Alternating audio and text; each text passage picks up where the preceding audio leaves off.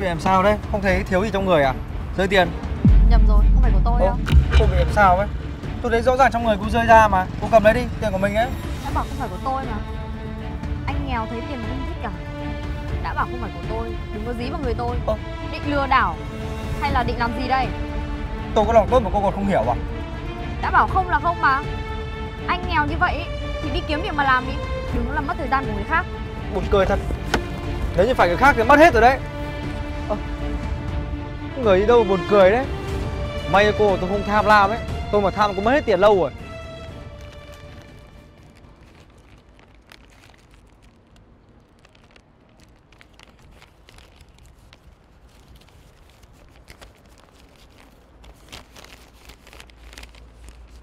Chào Toàn, Tôi là Dương, Bạn học cũ của cậu Thấy cậu rơi vào tình huống này, Tôi rất buồn Trong túi này có một ít tiền và địa chỉ nơi đang tuyển người làm Cậu hãy dùng số tiền này tân trang lại bản thân Kiếm việc làm và đừng đi ăn xin nữa Mong sau này gặp lại cậu sẽ thấy cậu thành công Hóa ra là Dương. Cô ấy đã giúp đỡ mình à? Dương, tôi cảm ơn cậu nhiều lắm. Nhất định tôi sẽ không để cậu phải thất vọng đâu.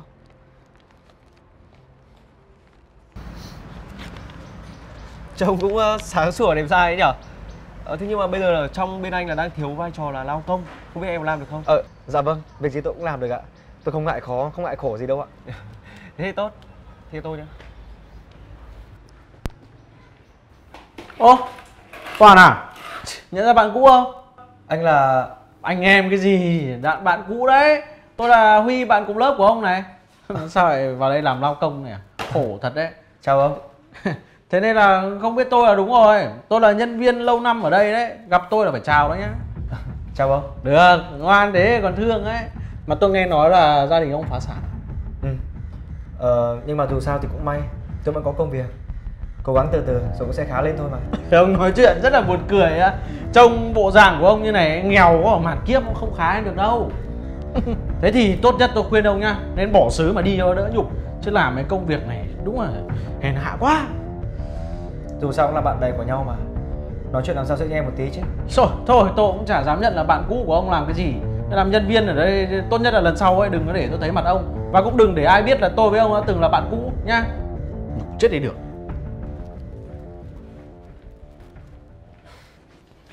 Cậu Huy, Giám đốc ạ. tôi cho cậu một tháng để nộp bản thiết kế quần áo mùa thu đông Vậy mà trễ hẹn cả tuần rồi. Cậu có muốn làm việc ở đây nữa không đấy? Dạ em xin lỗi giám đốc nhưng mà thật sự là cái bản thiết kế lần này nó khó quá. Em vẫn đang triển khai nhưng mà Trong vòng 3 ngày, nếu như không nộp bản thiết kế được cho tôi Thì cậu nghỉ việc đi. Chỉ là một cái con đàn bà thôi mà. Dám lên mặt quát thằng này à? Cứ đợi đấy. Đợi tôi ngồi vào chức vụ lớn hơn ấy xem lúc đấy thì ai quát ai nhá. Gớm quá nhở Thằng lao công mà cũng ra đây vẽ vời học đòi học trộm như ai ấy nhở Cậu lấy quyền gì mà cấm tôi? Sau giờ làm việc rồi thì tất nhiên tôi có quyền học hỏi chứ. này tao nói cho mày biết nhá cái loại lao công bần hèn như mày ấy có phấn đấu cả đời cũng không được làm nhân viên chính thức ở đây đâu hay là tính làm gì tính học vẽ xong rồi là lấy ăn cắp thông tin của công ty bán cho đối thủ à à Tôi không có. Đừng có vu khống cho tôi như vậy. được tao tịch thu nhá từ nay cấm vẽ vời gì hết Này, cậu làm cái gì đấy? Trả cho tôi đi. không trả trước gì cả. Mày có tin tao cho mày nghỉ việc không? Ở cái công ty này đừng có đùa với cả thằng huy này nhá. Lo mà làm cái công việc cỏ toilet cho nó nó, nó, nó tốt vào. Cậu.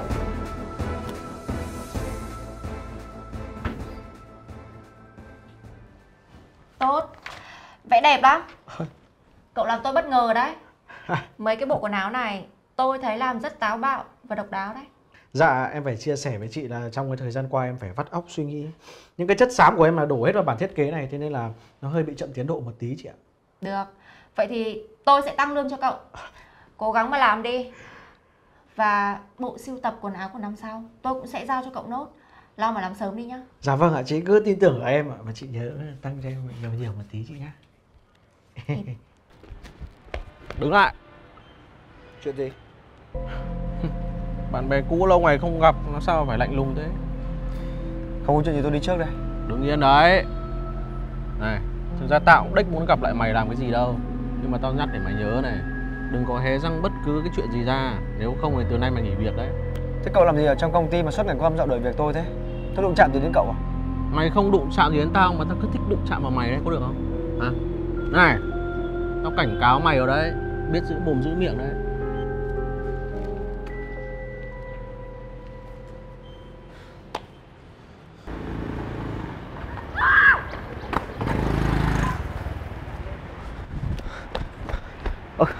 Giám đốc, giám đốc, chị có sao không? Giám đốc, giám đốc.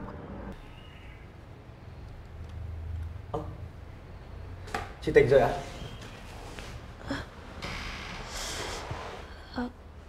Cậu Toàn Dạ.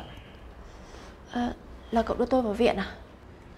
Chị, chị kiểm tra lại đồ đạc của mình xem có mất gì không ạ?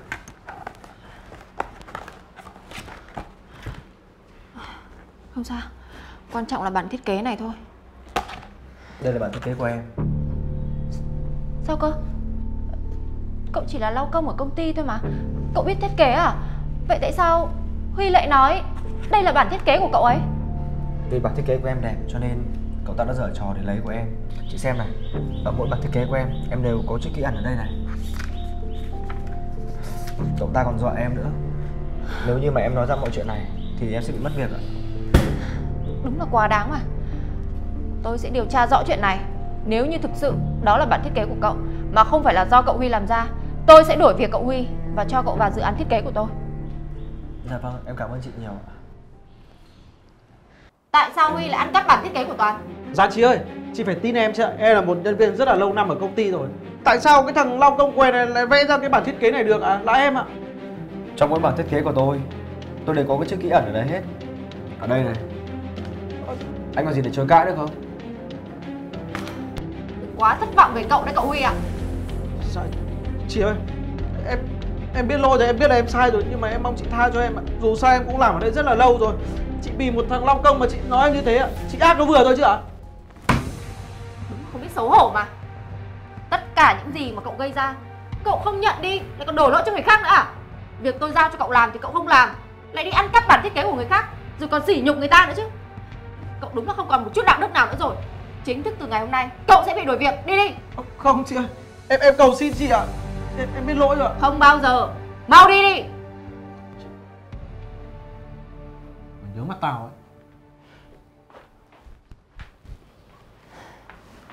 Kể từ ngày hôm nay Cậu chính thức được nhận vào công ty làm việc Còn về dự án này Cậu cứ tiếp tục làm việc đi nhé Dạ vâng ạ. Em cảm ơn giám đốc nhiều lắm ạ. Huy, tôi xin cậu Cậu có thể cho tớ mượn vài triệu được không? Mẹ tớ đang ốm, thực sự là tớ rất cần tiền Khổ lắm lại vay. Có tiền của tôi phải là lá mít lá đa mà cậu suốt ngày cậu vay đấy. À. Nhưng mà tôi thật sự là tôi cũng không thiếu gì tiền cả, nhưng mà tôi chỉ à, cho những cái người à, có thái độ thật sự thành khẩn thôi. Vậy vậy bây giờ tôi phải làm sao? Thì thì cậu mới cho tôi mượn tiền để lo cho mẹ tôi Ừm, Bây giờ nhá, cậu quỳ xuống đây, cậu van xin tôi thì um, tôi vui thì tôi cho. Trong phim người ta hay làm như thế mà, đúng không? Được Tôi sẽ quỳ theo lời cậu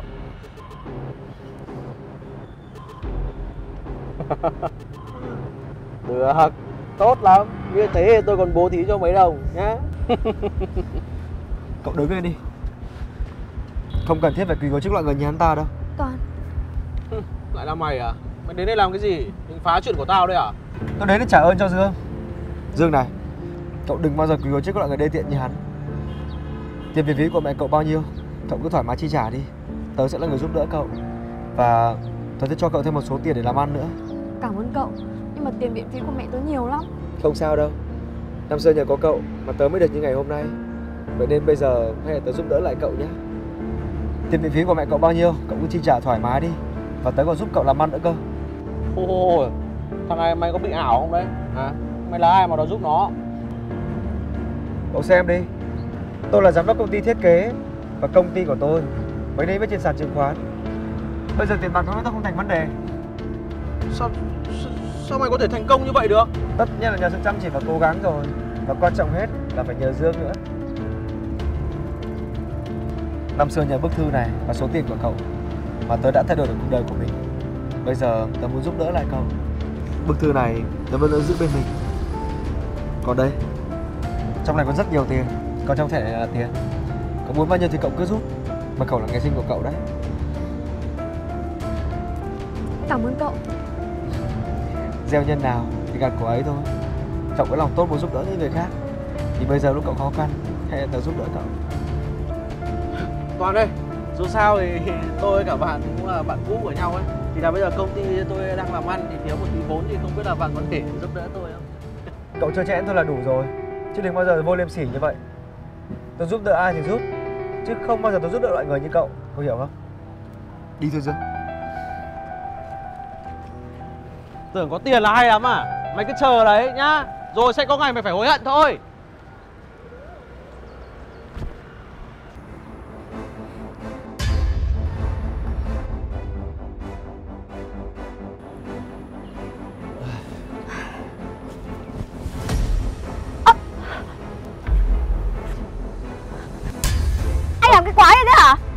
Sao cô tát tôi? Anh còn giả bộ cái gì nữa Đủ biến thái này Rõ ràng là anh anh đóng đinh vào váy của tôi để cho tôi tụt váy xuống cho anh nhìn cái gì Này, cô nói cho cẩn thận vào nhá. Tôi làm bao giờ? Có bằng chứng không? Có mù thì mới không thấy cái búa anh đang cầm lù lù trên tay kia kìa Thế bây giờ anh tính sao Tôi chả biết gì hết. Chắc là có nhầm lẫn gì rồi. Trời ơi Có người ta Ra đây mà xem đi con thằng biến thái tụt váy tôi này cô nói nhỏ thôi. Lỡ chẳng may người ta cái thấy người ta hiểu lầm tôi là biến thái hay sao? Hiểu lầm cái gì mà hiểu lầm? Có loại biến thái như anh mà cũng sợ mất mặt à? Mà anh là nhân viên của công ty này đúng không? Ờ, đúng. Thì sao? Anh có biết tôi là ai không? Nói cho anh biết nhá. Tôi là đối tác quan trọng của công ty này. Hôm nay tôi tới đây bàn hợp đồng. Nhưng mà bây giờ cơ sự ra như thế này Thì phải làm sao đây? Để tôi bảo sếp của anh đuổi việc của anh luôn nhá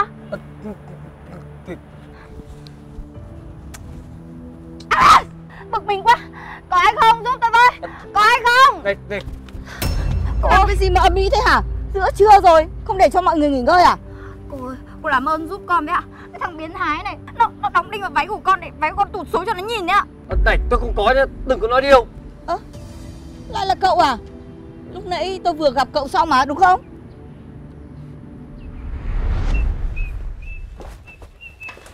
Ôi rồi ôi, giật cả mình Biến thái hay sao? Mà ra rình mò trước cửa phòng vệ sinh nữ. Hả?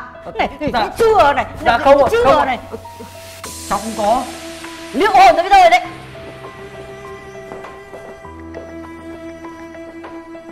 Là cái gì mà đánh đau thế không biết. Còn gì để chối cãi nữa không hả? Ngay cả đến người già anh còn không tha. Thì huống chi là người trẻ như tôi chứ. Tôi sẽ báo công an bắt anh vì tội quấy rối nơi công cộng nhá. Đúng đấy, để tôi báo với giám đốc Đuổi anh khỏi công ty. Chứ nhân viên như thế này giữ lại Chỉ làm ảnh hưởng công ty thôi.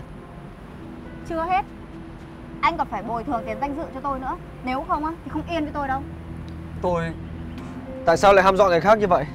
Có gì thì bình tĩnh nói chuyện chứ. Anh Toàn, anh đến đúng lúc lắm. Anh xem, nhân viên của anh đối xử với em như thế nào này. Làm em mất mặt trước bao nhiêu người như thế. Anh xem xử lý vụ này cho nó hợp lý đi. Nếu không là em em Hợp đồng giữa hai chúng ta không thể ký được đâu ạ. Được thôi Vậy thì mình không ký với nhau nữa. Anh nói cái gì đấy? Anh có tỉnh táo nó không vậy? Anh bênh vực nhân viên công ty mình Và đối xử với khách hàng như thế này à? Cái chuyện này là tôi bảo cậu ấy làm với cô đấy. Hóa ra Hai người Hai người đúng là lũ đàn ông cặn bã đê tiện mà. Đấy Cô thấy chưa? Bọn họ đối xử với cháu như thế đấy. Ban ngày ban mặt cấu kết với nhau Tụt váy của đối tác mình như thế. Thế thì cháu nghĩ là Đối với cô cũng chả ra gì đâu đấy ạ. Sao các cậu lại làm ăn kỳ cục như thế nhỉ? Tôi thật không biết nói gì nữa. Khoan đã. Cháu muốn cho mọi người xem cái này. Cô Kiều Anh Cô có biết đây là cái gì không? Cái này Cái này. Là cái gì vậy? Là cái điện thoại bật sẵn chế độ ghi hình đặt ở trong nhà vệ sinh nữ đấy ạ trời ơi. Thế này là thế nào? Này Đi đứng cái kiểu gì đấy? Có nhìn thấy đường không hả? Hay là mắt bị mù rồi? Tôi xin lỗi tôi không cố ý ạ. Không cố ý thì tránh xa cho người ta có đi.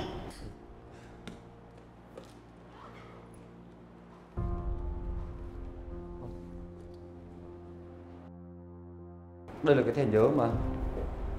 Ai làm rơi thì không biết nữa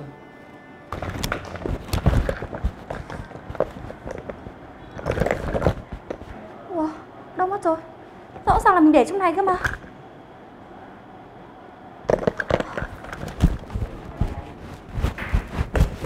Này Chó có cái đuôi con người có ý thức nhá. Nhặt được mà không biết đường trả lại à?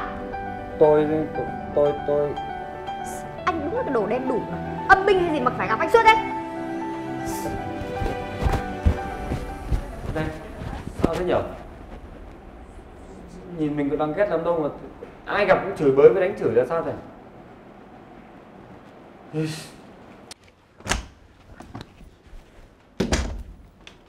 Dạ, em chào sếp ạ. Có chuyện gì thế? Sao con cũng đi lo dọn để chuẩn bị tiếp khách đi Ờ, em có chuyện này gấp lắm, muốn nói cho anh biết ạ. Chuyện gì? Dạ, em thấy khách hàng của mình đến rồi. Nhưng mà có điều... ờ, Có chuyện gì thế cậu cứ nói thẳng ra đi ấp ba bông thế ai mà hiểu được Cái gì? Cậu nói có thật không đấy? Chuyện này không đùa đâu nhá Dạ, em nói thật ạ. Em nghĩ là cô ta sẽ làm gì đấy gây hại cho công ty của mình, cho nên mới lén lút với lại sợ em như thế ạ. Thôi được rồi Bây giờ tôi nhờ cậu một việc nhé Cậu đi kiểm tra lại tất cả các nhà vệ sinh của công ty này Xem có vấn đề gì không Nếu như có lập tức xử lý ngay rồi báo lại với tôi nhé Được không? Dạ vâng ạ, em đi luôn ạ. Đi đi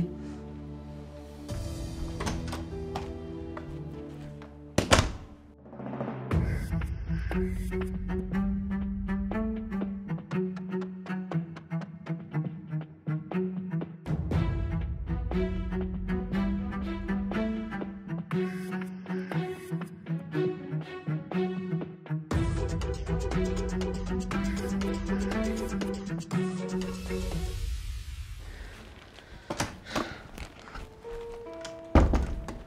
đây ạ. Thôi được rồi Bây giờ cậu ra ngoài kia Giữ chân hai người họ lại càng lâu càng tốt Còn tôi sẽ cho người điều tra về cái điện thoại này Và tìm thêm bằng chứng nhé Dạ vâng ạ.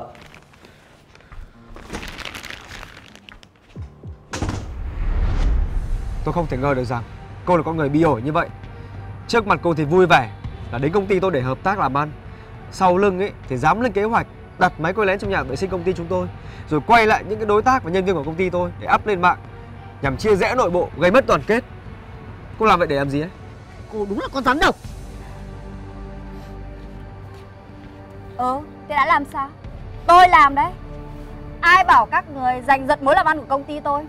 Tôi phải làm như thế Để cho công ty các người có một bài học nhớ đời Bớt ngông cuồng lên chứ Thế cô nghĩ thử xem Khi mà cô làm những điều như vậy rồi Thì cô tìm lại được cái gì nào Cô làm như vậy và khi tôi phát hiện ra Và tôi có tất cả bằng chứng thế này rồi Thì một là cô mất việc Và hai là công ty cô phá sản Chỉ có thế thôi Sao? Xanh mặt à? Mà tôi không ngờ công ty cô yếu kém tới cái mức à, cử một cái con cừu non thế này ra đối phó với chúng tôi ấy. Các cô nghĩ là bọn tôi dễ đối phó như thế à? Hả? Dạ thưa cô. Bọn cháu rất xin lỗi cô Vì để cô phải chứng kiến những cảnh không hay thế này. Nhưng mà cháu rất mong là Cô cho bọn cháu được một cơ hội hợp tác ạ. Cảm ơn các cậu. Cũng nhờ các cậu Mà tôi đã được cứu thoát khỏi cái cạm bẫy của con rắn độc. Các cậu là những người trẻ, Thông minh, Năng động, Lại khéo léo nữa. Tôi rất ngưỡng mộ. Thôi còn nói gì nữa? Chúng ta cùng lên văn phòng Ký kết hợp đồng thôi. Dạ vâng ạ, bây giờ mình đi ngay ạ dạ.